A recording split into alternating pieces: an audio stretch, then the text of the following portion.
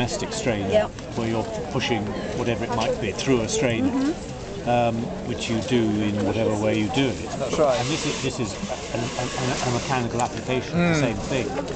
Um, and It would be very fine though, because I mean the mesh is mesh extremely is fine, yes, but fine, it- isn't it? But I'm thinking, you know, is it, is it, it, it's not a cheese separator or a, No. a, No. you know, a butter separator. No, I mean, but it's got to be something that is in a liquid form, which needs to be force drawn. It's on a grand scale, so it's not domestic. No. That's why I'm thinking agricultural or something like that.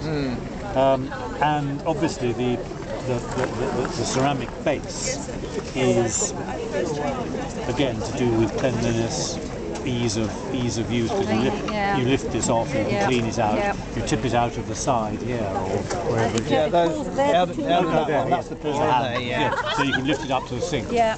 Yeah. And I think, I mean,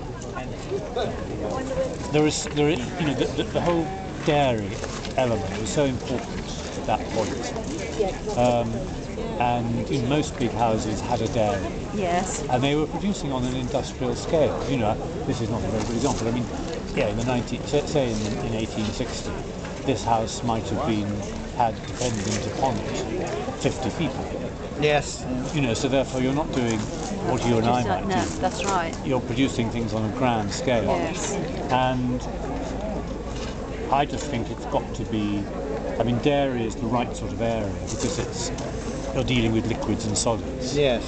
You know, if you, if you put vegetables, let's say you're making spinach puree, Yes. well, you, you'll bung up the holes in no time mm. at all. That's right. Except by doing this, you're actually keeping the holes clear. Clear. And I think this is actually not about forcing it through. It's actually about keeping the holes clear. Could be. So as you're going to and fro, um, whatever slop is in there Yeah. is draining through. Um, this is making sure it's partly forcing it through, but more important, it's actually cleaning the surface Yeah. to Yes. and fro.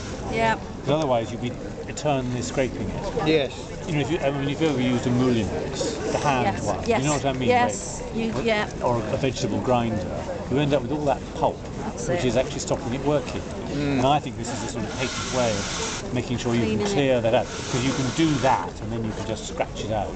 Yes. You know, meanwhile, it's filtering through. That's right. Yeah. So, I, I mean, that's not an answer. no, but it's That's But- nearer than what we. Yeah, Yeah. and you know, you've looked at the patent.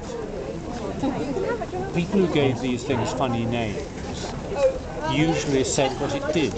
yes. So if you can get any further with those words, uh, because we can't unfortunately Yes. start recording until we sort this problem out. There is a lorry uh, that I believe has come with a heavy piece of furniture, which is situated